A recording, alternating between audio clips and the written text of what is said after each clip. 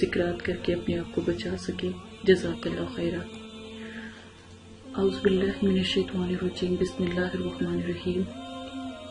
अगर आपको corona virus जैसी बीमारी ने आ घेरा है, अगर आपको ये सब चीज़ें वाजिया हो गई हैं, खांसी, सर में दर्द, नज़ला ज़ुकाम, सीने में जलन, दर्द, पेट में दर्द या फिर सांस में दिक्कत या चक्कर आना, बहुत ज़्यादा खांसी आना बलगम या फिर आपको खांसी करते वक्त खून आना या फिर आपको जो है बुखार ज़्यादा से ज़्यादा महसूस होना तो आप एक दफ़ा इस बहन के कहने से फ़ौरन उसका जो इलाज है वो करें। सबसे पहले अल्लाह से दुआ करें, दो नफल तोबा, दो नफल हाजत की पढ़ के अल्लाह से पहले अपने गुनाहों की माफ़ी और फिर आप जो है दो नफल हाजत, जैसे आम दो नफल पढ़े जाते हैं, नीयत इस तरह किसी भी टाइम करके आप पढ़ के दुआ करें। अगर आप नहीं पढ़ सकते अपने घर के किसी भी फर्द किसी अपनी वालदा, बहन, बीवी, अपनी बेटी, बेटे, किसी को भी कह सकते हैं, वो पढ़ लें। आपके नाम के पढ़ के दुआ करें तो इन अल्लाह के हुक्म से आपको कभी भी ये बीमारी लाक नहीं हो सकती। ज़्यादा से ज़्यादा वज़ू में रहें, पानी का ज़्यादा से ज़्यादा इस्तेमाल करें। सुबह के टाइम एक कप पानी लें, उसके अंदर आप थोड़ा सा अदरक, सौंफ थोड़ी सी कलमंजी और थोड़ा सा लीमू के चंद कतरे आप डालकर उसको पकाकर तो आप एक मशरूब की तरह या एक कहवे की तरह आप वो पी लें सुबह को। सब घर वाले भी पी सकते हैं, बच्चे भी पी सकते हैं, बड़े भी पी सकते हैं। तो आप ये इस्तेमाल करें।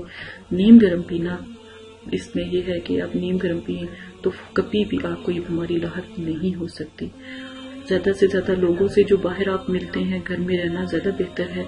बाहर ना निकलें, घर में रहें और बाहर बच्चों को भी जाने दें खुद भी बाहर ना जाएँ तो इन इस बीमारी से आप बच जाएँगे। नंबर दो, नबी पाक सल्लल्लाहु अलैहि वसल्लम ने फरमाया कि कद्दू का इस्तेमाल करें, ठीक है? जो जिसे लौकी भी कहा जाता है, कद्दू भी कहा जाता है, वो खाएँ तो इससे भी आपको कभी भी ये बीमारी नहीं लग सकती। नंबर तीन, नबी पाक सल्लल्लाहु अलैहि वसल्लम ने फरमाया कि नमक का इस्तेमाल करें।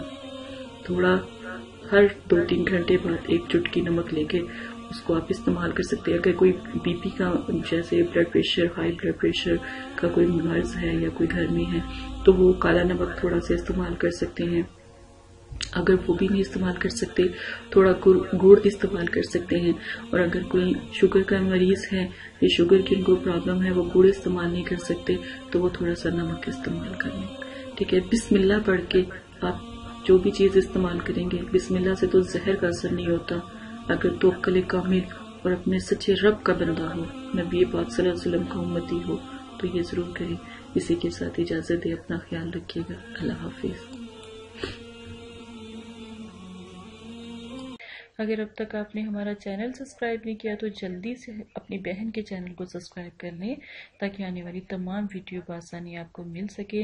आपको कोई भी मसला है, जादू, जिन्नात, असेब, किसी भी किस्म का मसला है, घर में किसी भी किस्म की परेशानी है, रिश्तों की परेशानी, रिस्क की बंदी, कारोबारी परेशानी, कारोबारी बंदिश, बाहर जाने का मसला, बाहर जाने की बंदिश, या किसी भी किस्म का घरेलू झगड़ा, परेशानी, इवन तलाक तक का मसला हो तो अपनी इस को याद करें और चैनल पे आके हमारे या फेसबुक पे आके हमसे बात करें।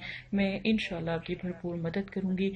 किसी भी किस्म का झगड़ा है, किसी भी किस्म की शादी का मसला है, बच्चों की शादी का, प्यार का, मोहब्बत का, किसी भी किस्म का, अपने प्यारों को पाने का, किसी भी किस्म का मसला है, अपनी इस बहन को याद करें। इनशाला आपकी भरपूर मदद की जाएगी। और अदीस को फैलाएँ, नबी पाक सल्लल्लाहु अलैहि वसल्लम की उम्मती होने का फ़र्ज़ निभाएँ। अगर आप को हदीस सुनते हैं और इसको आगे भेज देते हैं, इससे हो सकता है कि आपकी पूरी नस्लें सवर जाएँ। आपकी आल उलाद और आने वाली नस्लें इस हदीस का फ़ायदा उठा सकती हैं। लोगों तक जितनी भी मेरी वीडियोस हैं, वो पहुंचाएँ ताकि उनको आ हदीस सुनने का मौका मिले। जो मैं परेशानी आपकी हल करने के वसाइफ बताती हूँ, अमल बताती हूँ, वो भी लोगों तक पहुँचेंगे और लोगों की मदद होगी। और एक इंसान की जान बचाना या परेशान हाल, एक इंसान की परेशानी को ख़त्म करना ऐसे है जैसे पूरी दुनिया की खलकत की परेशानी को ख़त्म करने के बराबर। जजाक अल्लाह खैरा।